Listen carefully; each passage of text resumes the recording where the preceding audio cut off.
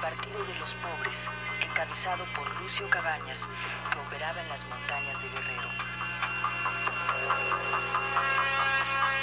El ejército intensificó la persecución de la guerrilla al máximo, hasta que en diciembre de 1974, Lucio Cabañas fue abatido con 10 de los suyos.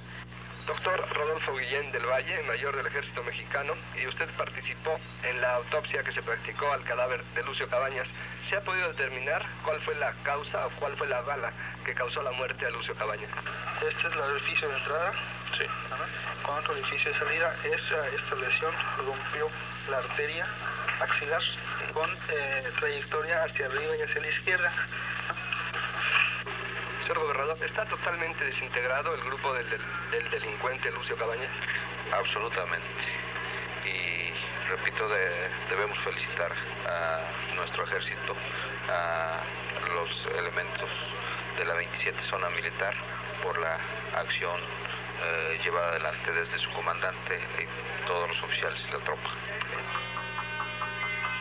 Con la muerte de Lucio Cabañas, terminó una etapa de la guerrilla en México.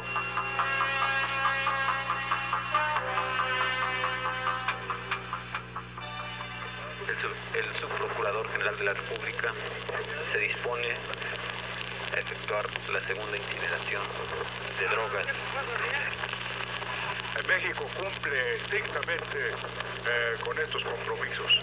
México acata en toda su extensión los dictados de su código penal y de su código san- sanitario.